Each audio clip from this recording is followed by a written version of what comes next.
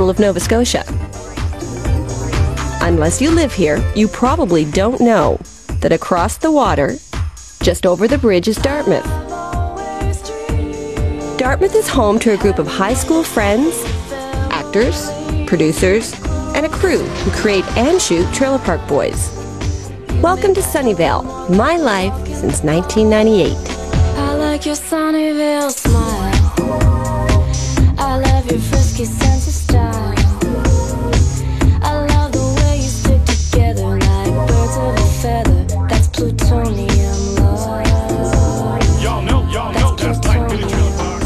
is Mike Clattenburg, creator director of Trailer Park Boys.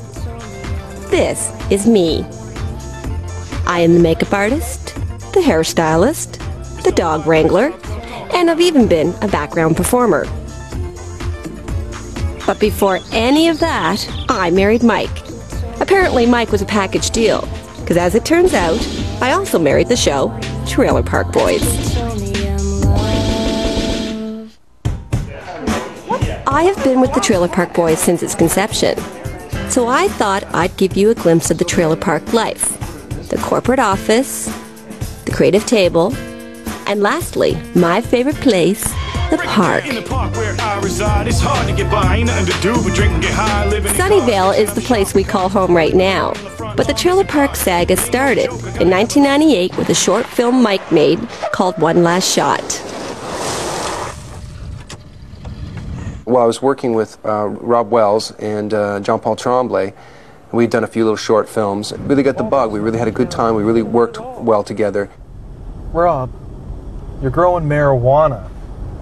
That's not a business, it's illegal. Oh, it's not a business, is it? The perfect product that costs you no money. You sell it, you make money. It's very demand product. Everybody wants it. You're gonna smoke your profits. They had the same kind of energy and, and uh, excitement about it that I did, so it wasn't hard to rally them to, to come together and to start to shoot stuff. They are Rob Wells and John Paul Tremblay, Mike's best friends and the original co writers of Trailer Park Boys. Part of the Trailer Park myth is that they and their castmates never appear out of character. So, in true Trailer Park fashion, we are going to honor the myth.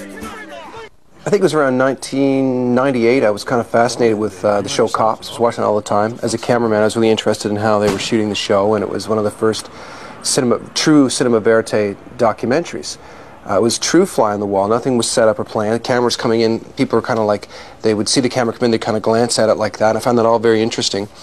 And uh, so I kind of, the idea of cops from a criminal's point of view um, kind of occurred to me. Between the short film One Last Shot and the movie Trailer Park Boys is when Mike really developed his unique comedic sense of storytelling. And Rob and JP began to define their characters Ricky and Julian. Just told him I'm gonna die in five days. Are you serious? Yeah. Well, fuck, man. Like, that's not good. When did this happen? The other night I gave him a call. A phone psychic. Man, are you fucking retarded? I don't believe in those fucking assholes. It's not a psychic, man. It's five ninety nine a minute. Go get some food. I started to shoot this thing uh, where Ricky and Julian um, are pet assassins. The absurdity of that is kind of a satir- satirizing uh, some violence uh, on television and, and some of the violence in films I was seeing. Fuck! Squirrel! Squirrel! We all really got off on it. Really had a good time. We come back, we watch it, and we would laugh. And that was our that was our pay to sit back and watch something that uh, was funny. And uh, it kind of came to be Trailer Park Boys.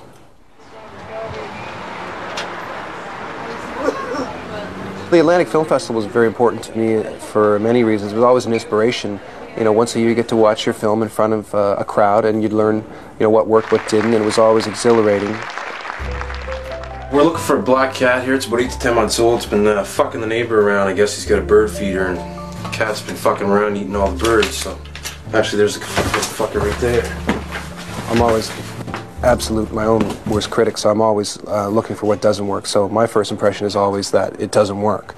Um, what could be better? And um, you know, there cer- certainly were some good laughs, and it was engaging. People watched the thing, but uh, my first impression of it wasn't uh, a good one. Later, when people started telling me that, you know, people I respected, like Barry Dunn, he said, really engaging characters, good story. and he really got it. He really enjoyed it. I woke up the next morning and my first thought was, this can't stop here. Yeah, Barry gave me a call when I was doing Pit Pony, and Barry's always been a mentor of mine, someone uh, who has always given me a lot of support and uh, confidence. and said, Mike, I have to talk to you about something.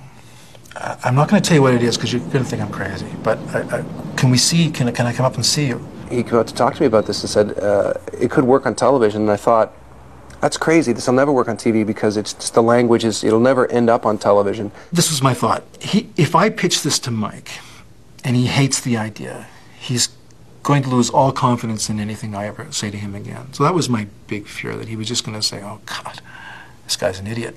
So he came and said, let's try it for television, and um, and pitch it as a 12 episode series. And so I thought, great, let's try it. That's how it started. I drove back the next day and got a speeding ticket, which I'll never forgive Mike for. We first thought it would be a good show for the Comedy Network, and uh, and Barry had some connections and set up a meeting. It wasn't until November of 1999 that we thought we're ready to go to Toronto to start to start pitching the story. And we kind of rolled up to Toronto. We, we were, you know, kind of hearts pounding, waiting to do this show for the Comedy Network. And and when we met uh, the rep, I knew instantly. I just knew from the vibe before we even spoke or pitched that there was no chance. Uh, it was just a very, very cold uh, vibe, un- uninviting. And uh, I just kind of thought, okay, this is not going to go anywhere. I forget Mike said or I said, "What do we do now? Where do we who do we go to now?" And I think it was Mike that said, "Well, what about Showcase?" And I remember thinking, "Well, I don't know. Jeez, I don't think they're doing that kind of stuff. So I don't even know their number. Who do you call?" The phone rang and I picked it up and I, you know, Laura Michalchyshyn, Showcase Television. And it sounded very scratchy. I think he was on a cell. I think he was in the car with Barry. Um, and the two of them, it sounded like they were exhausted. He sounded a bit on the edge. Um, it sounded like he'd likely had a couple of meetings that maybe hadn't gone so well in Toronto. And he said, I'm in town for a day and a half and I have a show to pitch. And I hadn't seen Trailer Park Boys, the movie, and I told him honestly I hadn't seen it, but I said I'm intrigued.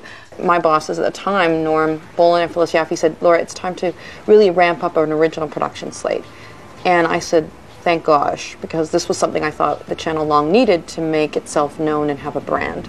And so we were in the midst of, you know, soliciting proposals and talking to various people because we'd never done this, so it was a bit new to us at Showcase. Laura was very uh, open and uh, and and wanted to see us. She wanted to talk to us, and we felt we were talking to someone who was on our wavelength creatively, very receptive. Uh, so the first impression was quite a bit different than um, than the Comedy Network. They came in with the pitch package, you know, it was a really well put together package, but it was like 13 one hours, black and white, unscripted.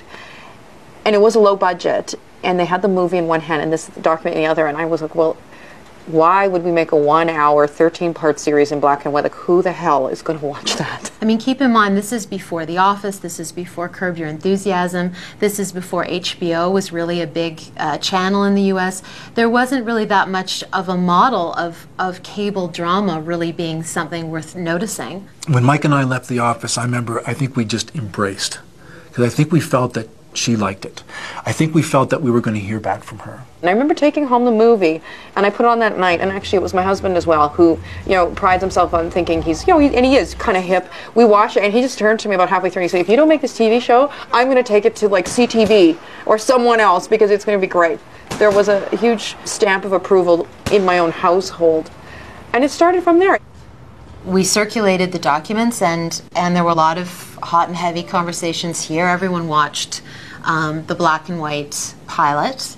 Um, everyone looked at the material. Al McGee, who was our creative consultant, was brought in, and he looked at a lot of, of the material as well. Come on, boys. Sorry, I just woke up. Well, I think my initial thoughts were that this could this could never work for television. It was just it was it was too wild. It was too untamed. It was too profane. It had it, uh, on the surface it had no redeeming values. We had to get the show through Phyllis Yaffe, who was and it still is, you know, the CEO and president, runs now runs everything, but at the time was in charge of the channels. And um, she looked at it and just said, "Well, this is interesting. You know, what's the budget?" And then I remember showing her some of the movie, and she said, "It kind of looks bad, doesn't it?" And I was like, "Well, Phyllis, that's part of the charm." Don't worry about the camera, boys. Come on in, I'll pay for it. Was black and white. It was a bit scratchy, and it's about the handy cam. And yes, a lot of it is out of focus, but that's charming. And she was like, "We'll see how charming that is." So she, she absolutely gave us freedom, but you know, she is a tough critic. When I first heard about the Trailer Park Boys, it was on a list of programs we were contemplating commissioning. And it was really a very small idea, and I think people thought it was with a group of people uh, who had brought it to us who had not got a lot of television experience. And it was the highest risk of all of the ones on the list, and the most likely to cause huge difficulty in its nurturing, but also in its production. After Mike and I came back from Toronto having pitched Showcase, that was in November, I'm pretty sure. Uh, we didn't hear anything for, for a month. I, I think it was three days before, I think it was December 22nd or December 23rd, I forget the exact date. Laura sent me an email. Very brief email. She said something like, We're thinking six half hours, half hour EPs was, I think, the word she used. Half hour EPs in May, color. What do you think? in early January, they came to me, and they'd just gotten off the the showcase meeting they had, and so I think essentially what they said was, get an experienced producer. I think that was what they said, find an experienced producer, and so well they couldn't find any, so they got me. Yep, someone was actually going to put Trailer Park Boys on TV.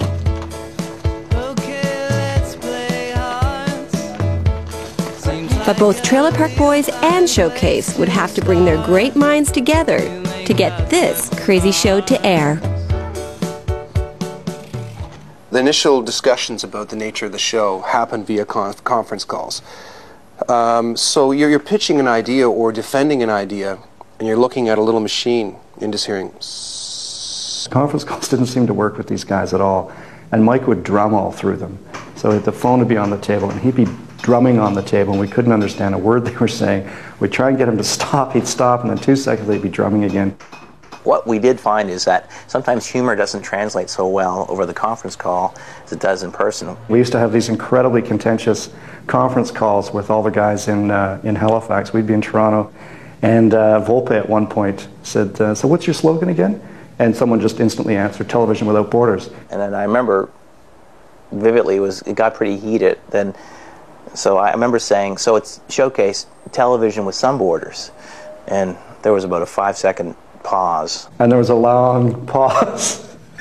and on our end, kind of, oh, touche, good for them. And uh, we dove kind of back into it and pushed those borders a little, a little further. Up until we started shooting Trailer Park Boys, the Trailer Park production office was the phone in our home. Every issue from visual format to language was hammered out by long distance. I listened and watched as Mike paced the floor, defending his unconventional ideas to programming. I had to feel kind of sorry for Showcase sometimes. Mike can be stubborn. But then again, if he wasn't, maybe Trailer Park Boys wouldn't be what it is today. I remember a lot of calls that um, almost ended, and I also remember a lot of laughter. I remember um, Alan, Laura, and myself. You know, Mike would just at a very tense moment would just crack us up, and we would laugh so hard that we would be crying. I remember one question we asked him. You know, very typical broadcaster question. You know, you have a scene in a strip club in a certain episode in season one. How are you planning to shoot it? And Mike Clattenburg said, you know, have you heard of Raging Bull by Martin Scorsese? And Al and I started laughing so hard that just tears were pouring down our face, but it was like silent laughter. Well, after a while, um, when the conference calls weren't going so well, and I was feeling uncomfortable and not caring about things, I started to mispronounce some pretty famous names. Like I'd say, well, you know, an actor like Al Pacino or Robert De Niro are, you know, those aren't available to us, or uh, Martin Scorsese, and, and I would deliver it deadpan, thinking that they were going to call me on it. We can hear them snickering on the other end, but didn't know what. We knew they were mocking us about something, but didn't know for what. And then years later, it sort of comes out. Mike has a thing where he likes to force you to correct, um, correct mispronunciations of people's names. That's kind of one of the things I bring to Trailer Park Boys. Is it, is this possibly real? But think about it. It's so absurd that I mispronounce five massive movie star names in the two seconds. You know, it's an unusual sense of humor, yes, but um, I think I was kind of somewhat frustrated and just trying to lighten things up, you know, trying to lighten it up a bit, um, you know, doing a comedy and everything. I married Mike for that sense of humor because I thought even when the chips are down, this man will make me laugh. Oh my god. Julian, shut up. I think in the beginning, people wondered if Trailer Park Boys was for real. The documentary style, shaky cameras, and actors that were new to the business.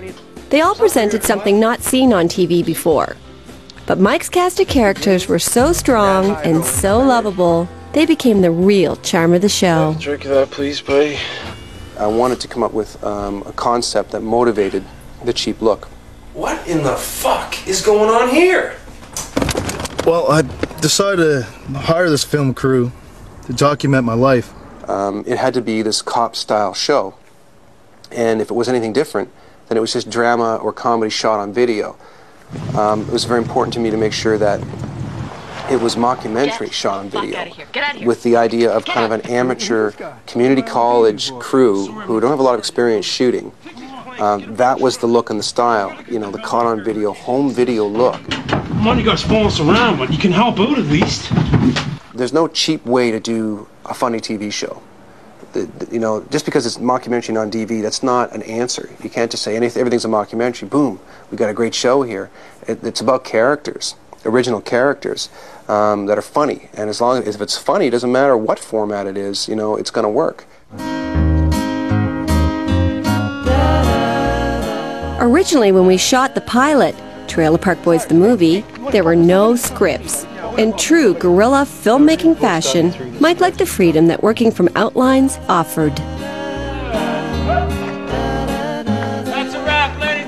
Their original approach was very experimental. They didn't want to write scripts, and you know, TV networks that are spending lots of money on TV shows need scripts, even if just to prove that we, you know, we did our due diligence on a story and we got something for the file when all hell breaks loose. So eventually they did scripts, but they did scripts with a lot of kicking and screaming.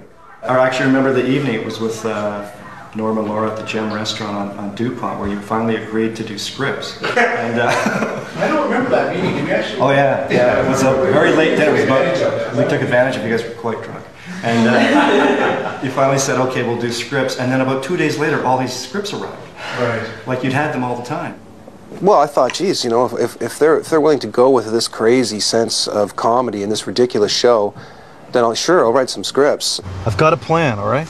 It's called Freedom 35. Originally, I wanted to do the show more like one-offs, um, more like uh, The Simpsons, where there is no series arc, and um, you know, no Freedom 35 or no no overall goal, because I just wasn't buying those contrivances anyway. And I like the idea of these individual crazy episodes where just this absolute insanity breaks out, and there are some themes that we, we revisit, but I personally resisted um, the conventions of um, of overall story arcs and things like that.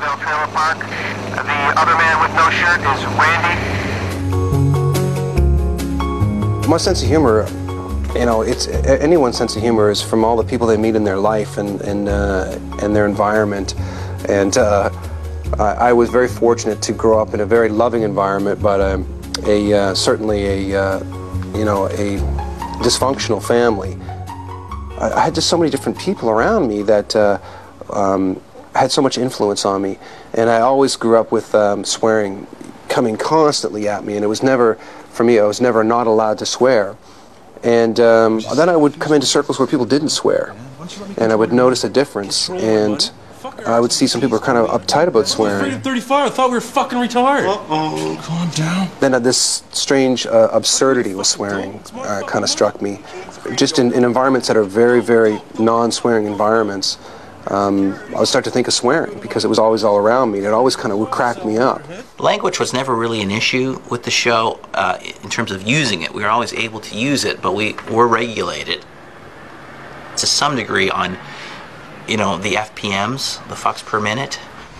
You know what? Fuck you and fuck your car and fuck your lawn. I'm going to my dad's to get drunk. You just lost a friend. In the scripting process of that first season, we were getting we were talking about FPMs, bucks per minute. and I tell you how crazy it got. I mean, really, because in our fir- in the first season we did six shows, and in every and in every show initially in the scripts there was the, the fuck was in the title. I think. There was- yeah. Uh, Jim Lahey's a drunk bastard. Yeah. And they're worse than that. What the fuck happened to my trailer park? Uh, what the fuck happened to Mrs. Peterson's dog? I remember being on the phone, Mike. You must remember this. We're okay. All right. So, all right. Uh, and we can't have fucking every title. Okay, I'll tell you what. Then we'll give you guys one cocksucker, but you guys give us three fucks in the title. And it was like I'm not kidding you. There was it was a serious It was conversation serious. we It was a serious We- conversation. We, were like negotiating fucks and cocksuckers over, and we lost on the uh, we lost on. Well, we won eventually on the cocksucker, but um, and we got two fucks in that first season in the titles. That was it, though. So I'd like to make a request under the People's Freedom of Choices and Voices Act that I be able to smoke and swear in your courtroom.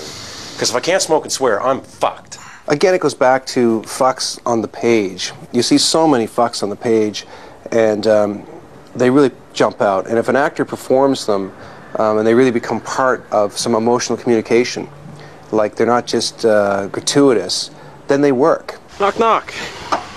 Who's there, Rick? Somebody. Somebody who? Somebody whose ex-wife owns a fucking trailer park. Is the only reason you got the job as trailer park supervisor. You got fired from the police force because you fucked up big time. But we're not going to talk about that, are we? And now you're going to get fired from this job because you're nothing but a drunk fucking idiot. You can't even run the trailer park. You're drunk right now. I can smell the fucking liquor on you from here.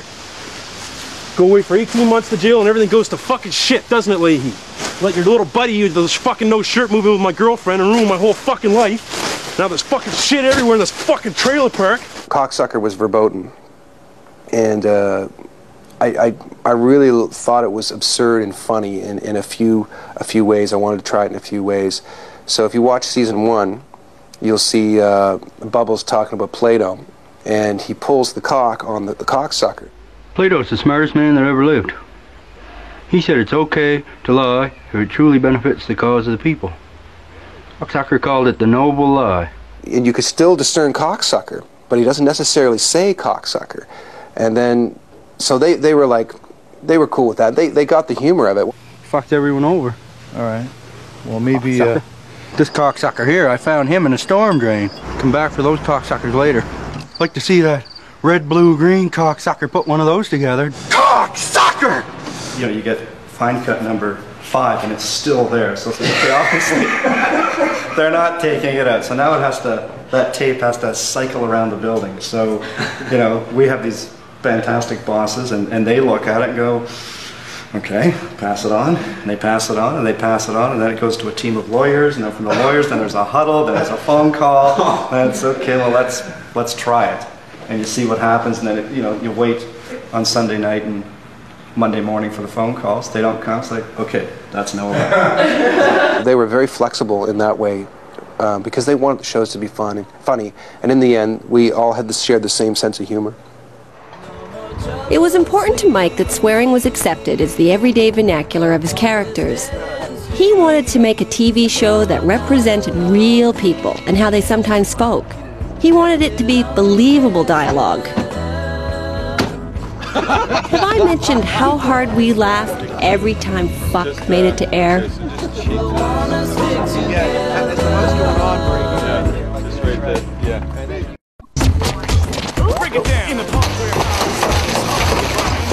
Trailer park, well, that was a necessity being the mother of invention. Uh, there are freestanding sets all ready to go, perfect, circumscribed little story world. Um, you know, if you're gonna if you're gonna do a story about the moon, you need to build a moonscape, right? So um, that was available to me, and I had uh, the resources to pull that off. I could go walk into a trailer park. That's the set. It's ready to go. The very first park we shot in was in Sackville. It was a beautiful park, lots of great trees, older trailers, which I like. I like the ones that don't have all the siding. Um, a lot of pastel colors, and they just look gorgeous. They look beautiful. And uh, we shot there our first season, and uh, the owner saw the show. Uh, or heard about the show and the language, and he was like, "No way, he didn't want any part of it because the language is so crazy." Uh, so he said, "Forget it." But the thing was, he owned 11 trailer parks in, in Metro. He owns them all, pretty much. So we were really screwed. And uh, so the second year, we found a very, very small park in Dartmouth. Uh, we irritated some people there in season two because Mr. Lahey and Randy broke up. Mr. Lahey's let the trailer park go to shit, and uh, so we were, you know, running around throwing fucking chairs around and lighting cars on fire. And anyway, so that trailer park was um, was a rough one, and uh, they didn't really want us back. It was pretty intrusive. season three we shot in Timberlea. It was a great park. It was a much smaller park. I really liked it. Uh, same problem, one main entrance, trucks, people, and after six, seven weeks of that crap, you know, people are like, you know, that's it. It's just too, you know, it's always interfering with people coming home, blah, blah, blah. Season four, we shot uh, in Eastern Passage, uh, a nice park. They said, look, we, we'll, we'll allow you to shoot your show, but we can't have you in the main park, so we had to shoot on the outskirts of the park. So we wanted to build this big wall right in the middle of the park where Ricky would uh, control, you know, this part of the trailer park, and we had to put it on the outskirts of the park. So it kind of screwed up our whole story logic. It just wasn't as good as it could have been. You know, people live there; that's their home. So we take whatever we can get and make it work. gunfights, explosions, fires, night shooting, all these things that you can't do in a privately held park where you have people with kids and dogs and lives, as it were.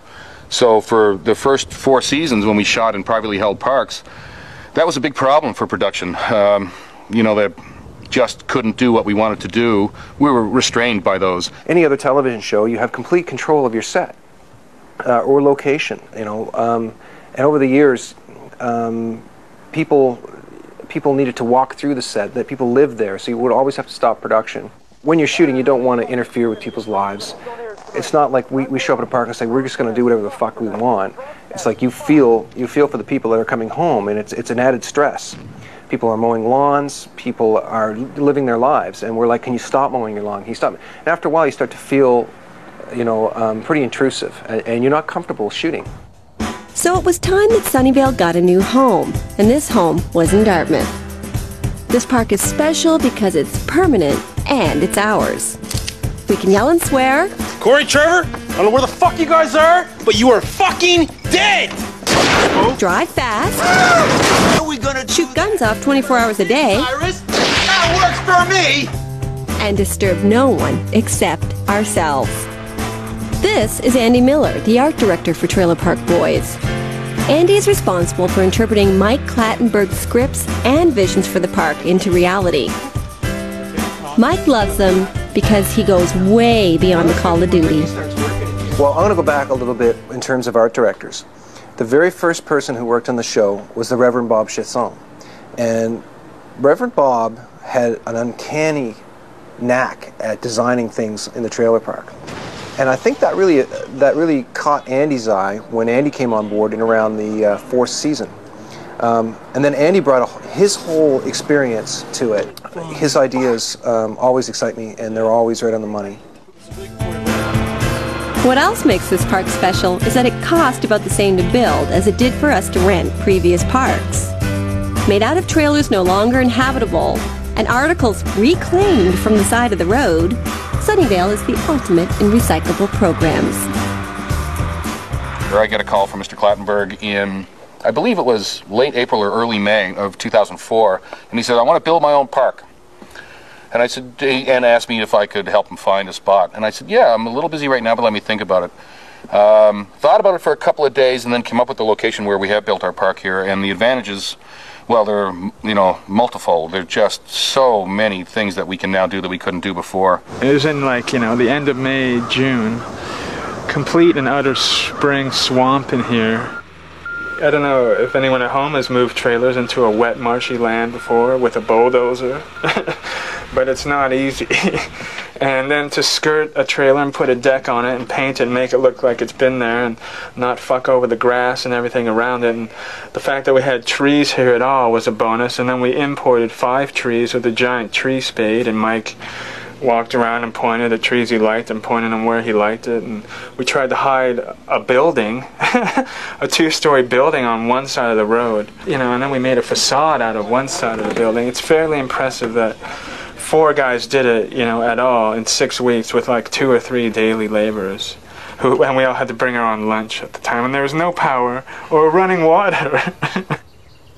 You know, for us to build a trailer park is fairly inexpensive because we, we buy uh, old trailers that no one has any use for whatsoever. There's sort of a two types of trailers, uh, and here's a good here's a good example. Like you can you can almost smell it from here. This is a this is probably an eviction trailer. The, the eviction trailers are the ones where people get kicked out and then they kind of vandalize it It smells like uh, different types of pee. and we'll take those trailers for free.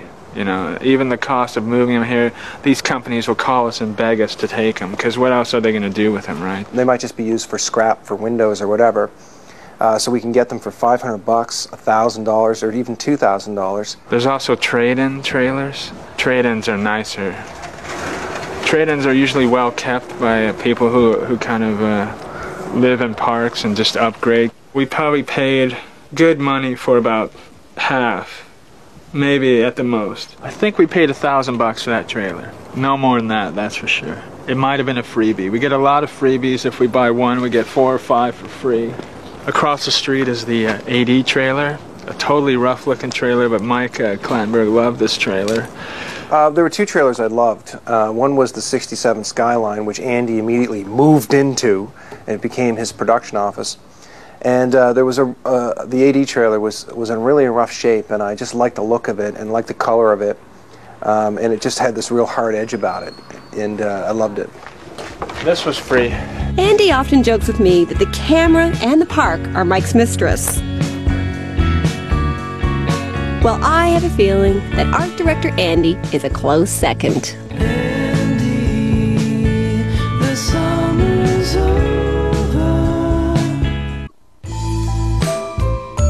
It's one thing to build a trailer park, but it's another thing to dress it and make it look like home. A lot of the art direction are found materials. I mean, they dig through garbage, you know.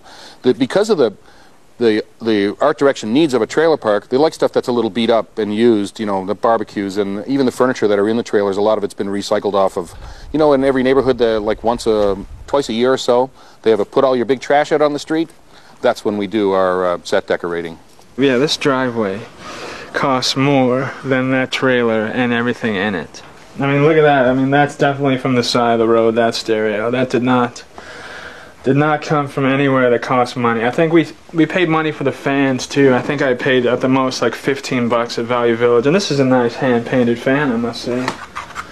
That might disappear at the end of the year, you never know. This is another piece of found art. Dolce & Gabbana got him somewhere. I don't think they paid money for it though. So we did pay money for this. But not much because he had a coupon. I spent a lot of money at Dollarama. We had to buy like 12 of these because whenever we move the car in and out, someone runs them over. Some lady who lived outside of the Greenridge Trailer Park last year had it outside and basically begged me to take this carpet away from her. $75 working TV. That's uh, taxes in. That van came from Moncton. Someone made it in shop class or something. It's got the dude's name in 1978 carved in the bottom. It's ceramic. He had time to make beer can art. Well, we make time for beer can art. Come check this wallpaper out. you don't see that every day. Five bucks a roll, probably total of 20 bucks. I mean, I don't even know what these are, but they somehow work. uh, yeah. I think part of the charm of the show is the fact things look cheap because we do them cheap, and and that's sort of the sort of the tone uh, that's always been in place with this show. To maintain that is a really fine line because once you start spending too much money, it may lose its sort of that sort of amateurish um, mockumentary style. And, and I know that Clattenburg hangs on to that tenaciously. He does not want the show to start looking expensive. Oh, here's one of your favorite scenes, Andy. 10XX. I like it when it's triple X better. that means to be determined. That would mean That needs to be written on the day. written on the day, yeah, for We- sure. We like that. It's a classic. It's a classic. What do you think you'll need for props for scene 10XX? Ricky's lighter. Like, is yeah. How many cars? Well, they, none of them work, so all of them. Those cars have fucked me around so many times when I'm trying to shoot a scene, stalling and fucked up. And I'm trying to shoot the show. We're rewriting it usually as we're doing it, and it's pretty high pressure to get it done. And then the cars don't work. Is there anything we could shoot while they're getting it fixed? The only way we could shoot it is if I was in the car and we had four guys pushing it, or something like that. I mean, the Lahey mobile is fucked all the time. The Shitmobile is fucked all the time. Having problems with the uh, Shitmobile this morning, Preston? Nope, it's shitty, as per usual. If it was anything else, we wouldn't be able to call it the Shitmobile. It's like a trademark thing. Put the car in park or neutral, Rick. It's in drive. That Shitmobile, by the way, is our car, the one Mike and I drove until a couple of years ago. We finally retired it to the park permanently because it became just too unsightly to have parked in front of the house. Perfect example of how Andy interprets the script and gives it 100% is Ray's trailer burning down. Now, with um, logistics and things, sometimes you have to shoot out a sequence. We had to shoot the trailer burnt before we actually saw it unburnt. When I walked on set and saw that trailer, uh, I couldn't believe that they'd put so much work into the detail. Um, Al Barber and Andy and uh, Dolce and Gabbana, um, they really, it was to them, it was a great challenge and a bit of a masterpiece for them. It wasn't just like, we got to do this. They, they really looked, sit back at it and were very proud of the work they had put in it and, and created this convincing burnt trailer. The fire department showed up when we finally did the scene of uh, when the trailer had burnt down, and the guys were like, that's what it looks like, you know, and that's Kind of perfect. soft from all the fucking heat. Please, just get the hoses and shit off there, everything. The reason we had to shoot the burnt trailer first was we needed the unburnt trailer to shoot the Christmas special. All right. Do you know anything about the Christmas uh, script or anything? Have you heard anything from Ken? I heard there isn't one. Glad we're all on the same page. The whole park's gonna be covered in snow. But depending on the budget, that snow just might be white blankets. If we can't afford uh, blankets, we have paper towels and toilet paper standing by. We're gonna cover the park. It'll be white Christmas. 400 bucks and a little bit of imagination. It'll look like Santa Claus is coming to fucking town. Our whole show is we're trying to ask people to pretend that it's a real world. Because of that documentary format, mockumentary format, we want people to believe that this is, really exists. So that even when they turn off their TV sets at night, Ricky, Julian, and Bubbles still survive. They still have their own little world. These are the things we can do in the winter. It was important to Mike that his trailer park be as believable as his characters. Between Mike's vision for the park and Andy and his team's interpretation, Sunnyvale became a reality. I don't wanna lose you when we're walking on a frozen lake.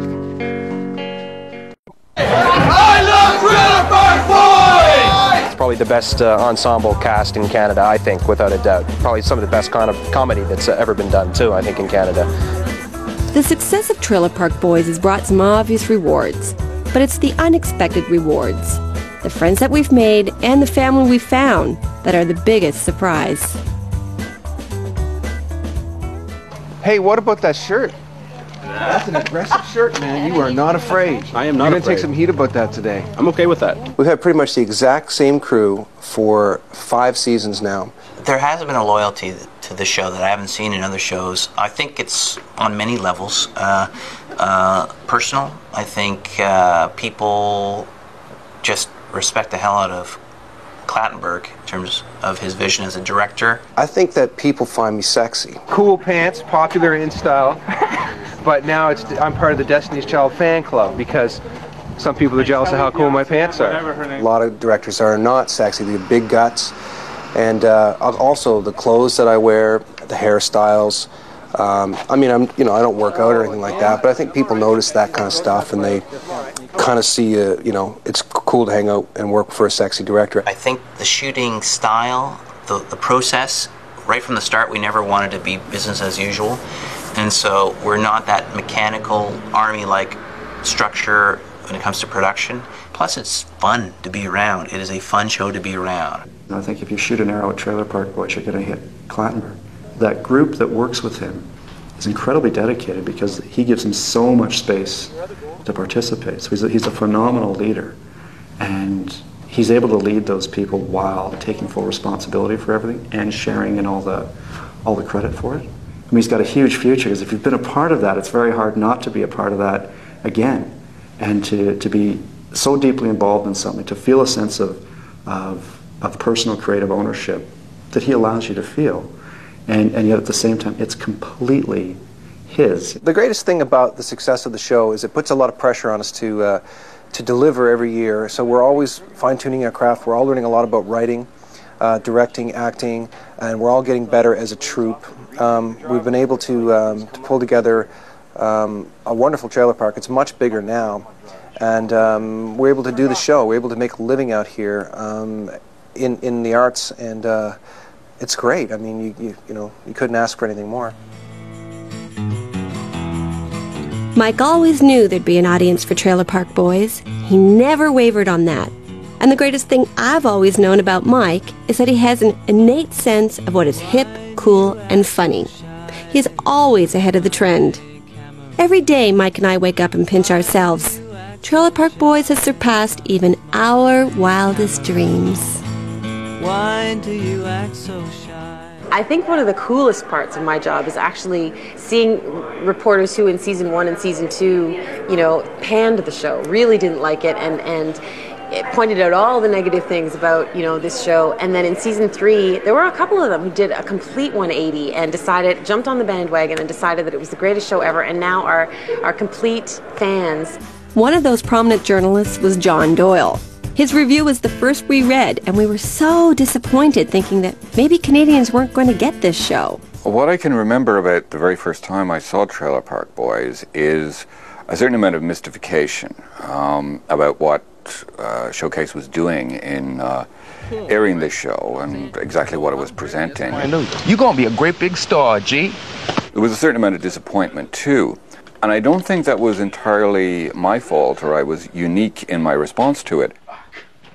I would be really excited to find out, you know, what what made John Doyle change his mind because he's a he's a hugely prominent journalist. He you know has got a huge column in the Globe and Mail, and he was one of the big ones. The first people I heard talking about it were people in the music business, uh, you know, rock and roll types, um, who uh, mentioned that they were watching it and that inside um, the rock and roll world, um, the show had some cachet uh, and, and was uh, was a favorite among musicians and people like that.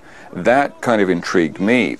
Ricky, you're forcing Rita MacNeil and her band to harvest dope at gunpoint. You could be a little bit fucking nicer, you know. Between season one and season two, I think. Um, well, I don't know exactly what happened in between, but when season two aired, the um, um, the, the sort of modus operandi of the show became clear. Bubbles, what the fuck are you doing? What are you doing? These charts are public domain, Ricky. What's that? No, man. That's. Bubbles, get back here, you dick! Fuck! The comedy credentials, I think, became slowly established in uh, in season two, which meant that it certainly it clicked with me, and I think started to click with viewers. Hi, I'm Patrick Paul Resney from London, Ontario, and I'm a huge Trailer Park fan. And I'm Sherry Long from London, Ontario, and I'm a huge Trailer Park fan. What makes you guys big Trailer Park fans? Everybody says I kind of look like Ricky, and I act like him sometimes. Only when I've been drinking, though. all three of us were, were absolutely committed to the notion that there would be an audience for this. We had no idea how big it would be, but we knew there would be other like-minded people out there that would that would dig it in the same way. It stands an example of, of Canadian television being very cool, having that ca- cachet with um, with the young hip audience that Canadian television very rarely does. That's the major change. It stands as an example of that. Oh, I think Trailer Park Boys has completely changed the face of Canadian television, and I, I you know, I, I'm both horrified and thrilled when I see other broadcasters try to borrow from our, our formats. Here to discuss what was involved in creating a series that's a bona fide hit with fans and critics alike, and how this series went on to challenge convention and break new ground in television production. I think we are now sort of um, the template. There's got to be some new kid who's going to have to say to, to break the Trailer Park Boys, you know, and that may take a while to happen. God knows in this country it's hard to make a TV show, let alone a big hit. The fallout really is how do you how do you do the next one? You know, because uh, we've set the bar so high um, that everything seems in our minds is always going to be judged according to what has become a real huge hit. Dolly Parton said it's good to be first, best, or different. And so if you can be two or three of those things, that's really good. If you can be three or three, well, that's tremendous. In TV, you can either throw money at the screen or you can throw your brain at the screen. And in this case, I think everyone on the team of Trailer Park Boys should be commended for throwing their brain at the screen. Why don't you try? At the end of shooting each season, questions come to light like Is this it? Is this the end? Have we shot our last season? Is this goodbye to Sunnyvale, my home away from home since 1998? 2005 brought us a feature-length film, and international sales have brought viewers from around the world to Sunnyvale. But after all that is said and done, I can only speculate what everyone will do after Trailer Park Boys is completed. I hate to say this, guys, but that's a season five wrap of Mr. Rob Wells and Mr. Mike Smith. Most of the crew will move on to other film sets. The producers will find new projects to produce, and the actors will find new gigs. But the one thing I am sure of is everyone who's been involved with Trailer Park Boys will have left a corner of their heart in Dartmouth, the home of the Trailer Park Boys.